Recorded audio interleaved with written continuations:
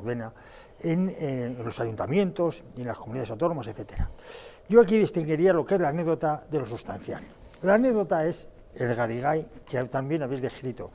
Lo sustancial es que en, en, la toma de poder de un partido en España existen tres fases.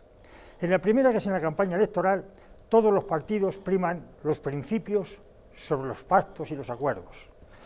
En la segunda fase, ya cuando se han producido las votaciones, priman los acuerdos sobre los principios. Y en la tercera fase, que es ya cuando se toma el poder o cuando se desecha el partido del mismo. Era que resultaba que no teníamos principios. Sí, ni principios ni pactos. Claro. De tal manera, el poder.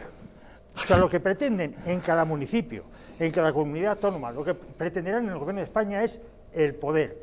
El que lo ha conseguido para mantenerse. Y el que no lo ha conseguido, hemos visto a la alcaldesa, a la alcaldesa de Madrid diciendo, ya no soy nadie. Todos los principios que había por Madrid, toda la energía que tuvo para mejorar Madrid, todo eso ha desaparecido.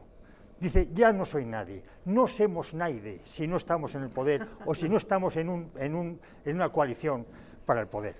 En referencia a Valls, yo creo que Arrimadas ha, ha dado la clave de por qué está Valls ahí, en Ciudadanos.